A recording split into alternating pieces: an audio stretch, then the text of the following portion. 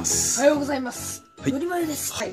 今回このハイトレの途中経過をしようと思います。途中経過だね。はい。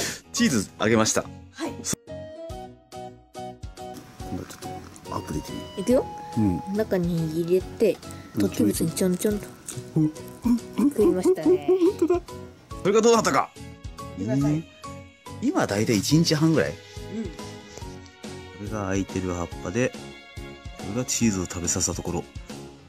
すごいね。なんか、チーズの形が見える。最初に、あの、うん餌を感知すると、うん。閉じて、さらにギュッと圧縮して、うん。胃酸ってのを出して、うんあの、消化するらしいんですよ。うん。今、その状態です。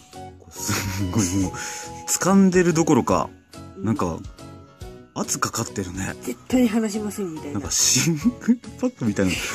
これでも、もうほとんど2日ぐらい経ってんだけど、うん。消化にどれくらいかかるもんなのこれ？あの、閉じ始めてから、いんだいたい1週間って言われてる。1週間？1週間。時間かかるね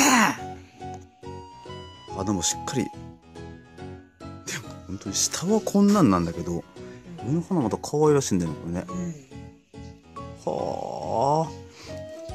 で、1週間ずっと閉じっぱなしになるんだね。じわじわと。